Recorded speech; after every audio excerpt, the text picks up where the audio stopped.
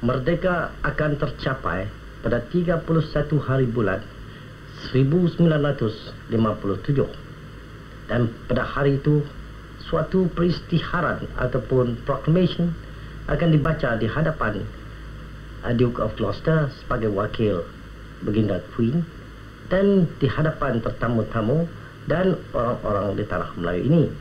Bang siapa yang ada dekat dengan stadium dapat didengar dan bang siapa yang jauh boleh didengar di rumah masing-masing daripada radio.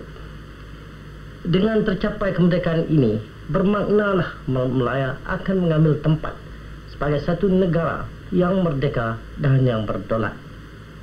Ia akan menjadi ahli Commonwealth dan akan mengambil hak-haknya sebagai negeri yang merdeka dan menolong menambah, menambah kemakmuran Commonwealth dan